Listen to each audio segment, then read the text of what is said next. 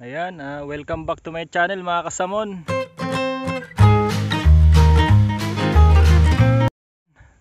So ayan, nandito na naman tayo sa bundok mga idol.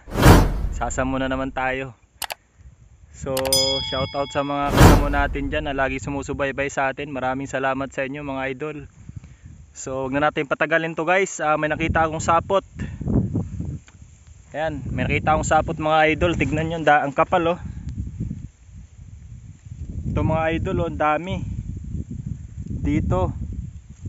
Ah, sa, itsu- sa itsura ng sapot niya eh mukhang malaki to kasi ang dami oh. Parang ang tagal na parang ang tagal na nagbahay dito. Halos nakapalibutan niya na tong buong halaman ng sapot niya. So dito ako sa baba mga idol ah. Yan kung nakikita niyo sa taas ko na bundok, diyan sa taas na yan hanggang pababa doon, puro sinunog na yung mga bundok. So naglakad dalawang oras ako nag, naghanap guys, ah, ngayon lang ako nakakita. Stop it. Get some help. Sa dalawang oras ko na paikot-ikot, ah, ngayon lang ulit ako- ngayon, ngayon lang ako nakita ng sapot. So ganun ah, halos sinunog na kasi lahat ng ano dito, mga kabundukan. So i iba ko lang idol yung mga camera para makita nyo yung sapot tsaka yung gagamba. So ito mga kasamon, ah, kung nakikita itong sapot niya, ayan ang dami. Ayan, kita nyo nasa kamay ko. So ayan pa, dami niya rito. So dito mga idol oh, dito siya, ayan. Ang dami niya. So pababa siya dito mga kasamon. Ayan, nasundan natin dito dahil ang kapal ng sapot. Ayan. So ah, nakakaubos talaga ng mga gagamba tong pagsusunog ng bundok nila dito mga kasamon.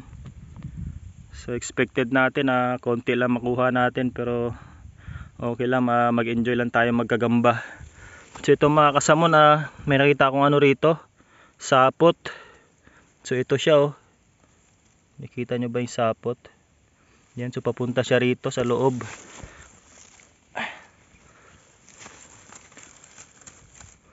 So yun mga kasamo, nakita ko na yung gagamba. Ayan, mukhang mukhang malaki to. Ayan, sa kung, mga, kung bago pa lang kayo sa channel ko mga idol na nanonood, ah, please subscribe para masubaybayan nyo yung mga ano, samon hunting natin ay mga idol. Nakita ko na yung samon. Ang dami niya ng bahay dito, may bahay rin siya dito. oh. Kinikita nyo, bahay niya yan. So, pero nan wala siya dyan, nandito siya sa kabila. Ayun siya mga kasamo, no? nakita nyo, ayun, no? Ayan, ayan siya. Mukhang malaki mga kasamon, kuhanin ko lang, ha. Tapos pakita natin sa inyo.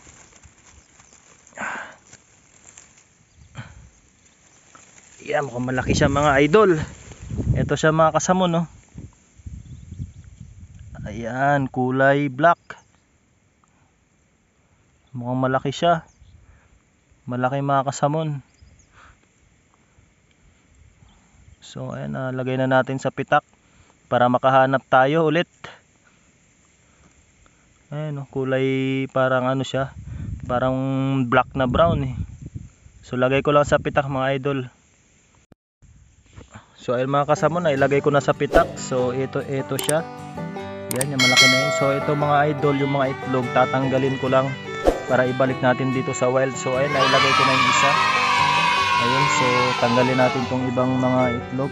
Ito yung mga naunang samo na nahuli natin. So tanggalin lang natin guys para ibalik natin dito sa ano.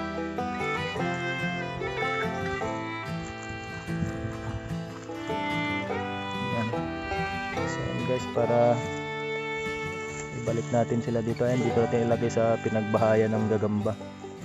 Ayan, para just in case na ma ma-hatch sila. Ayan, marami pa sila dito.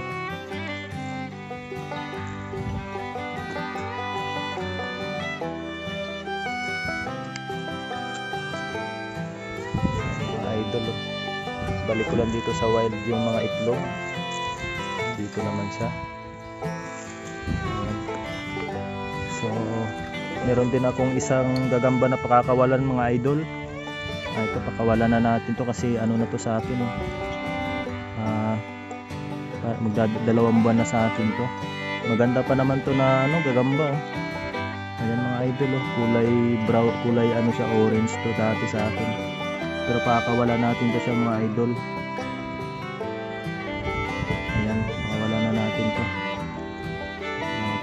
Sa akin to dalawang buwan na siya. So ayan. So ayan siya. Uy ayun siya mga idol. So dito natin siya ilagay mga idol. Pakawalan na natin tong alaga ko na isa. Ayan. Malaya ka na.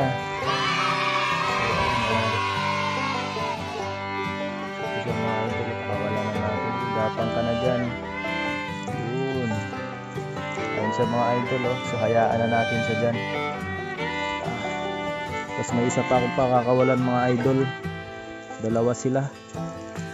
Ah, ito naman itong isa. Nahuli ah, mga isang linggo siguro to sa akin.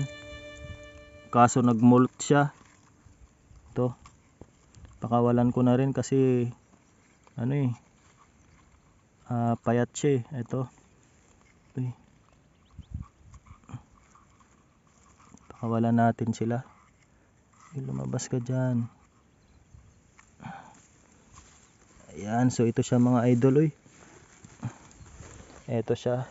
So ilagay naman natin siya dito sa kabila. So dito siya, ayan. Ito mga idol, oh.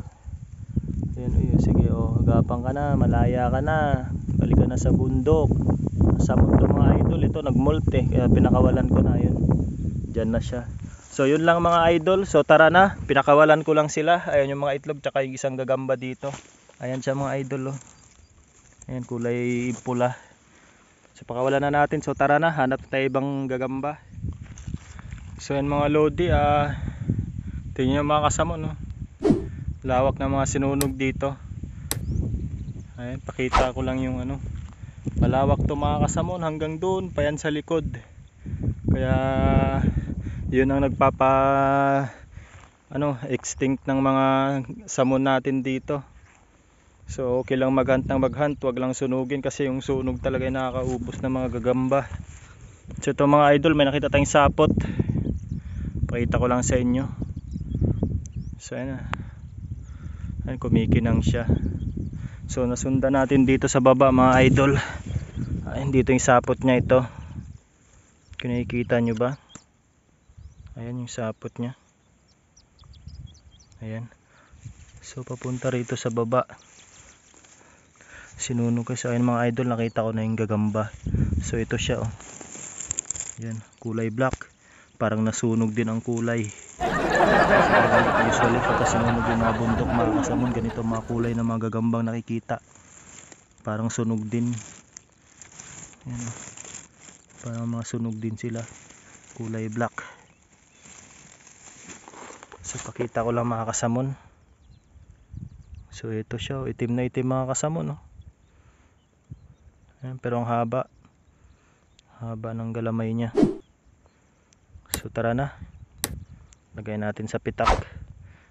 So halos madalawang oras na mahigit mga idol. Pangalawa pa lang natin to.